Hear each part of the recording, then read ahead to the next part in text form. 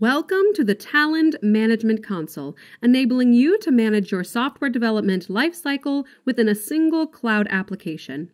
Enjoy the straightforward and user friendly UI of the Talend Management Console with the simplicity of moving from one stage of your SDLC to another. This can be accomplished by implementing what are called promotions. Promotions are simply a way to move various elements, environments, workspaces, plans, tasks, and or artifacts from one defined source to another.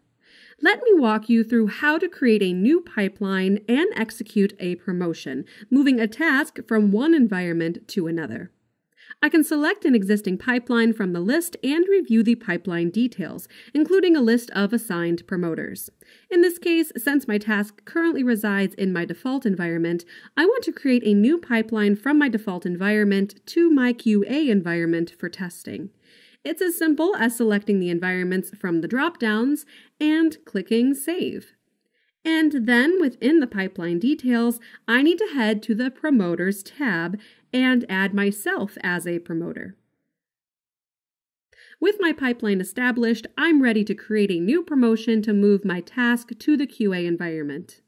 I'll dive into my default to QA pipeline by clicking this play button. I want the scope to be task, and I need to select the workspace in which my task currently resides. This populates another dropdown where I can select the specific task I want to promote. I can choose to override the original or create a duplicate task and save the original. In this case, I'll choose to override. I'll click Analyze, where I'm given a promotional analysis summary to show what artifacts will be created in the QA environment.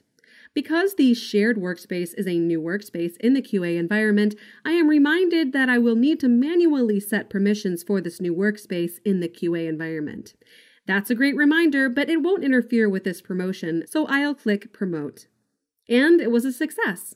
And with just a few clicks within the Talend Management Console, I've taken a big step forward in my SDLC process, ensuring my team stays efficient and organized.